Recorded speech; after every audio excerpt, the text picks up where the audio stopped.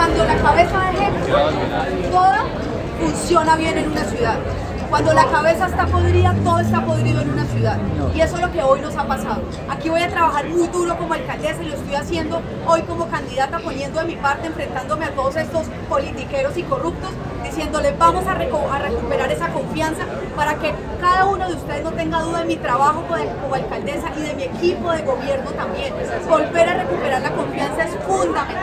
Cuando no hay confianza en quien lidera, la gente hace lo que le da la gana en una ciudad. Y eso es lo más importante tenemos que hacer, recuperar la confianza para que podamos trabajar, para que podamos trabajar en una ciudad con más seguridad, con más orden, con más autoridad. La primera autoridad en una ciudad es el alcalde y yo voy a ser la primera autoridad como alcaldesa.